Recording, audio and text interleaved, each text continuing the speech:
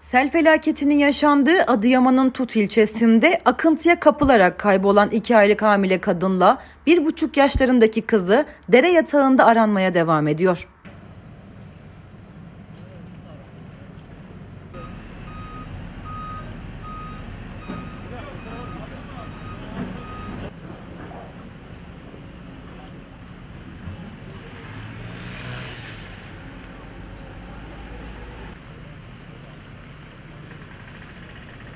Thank you.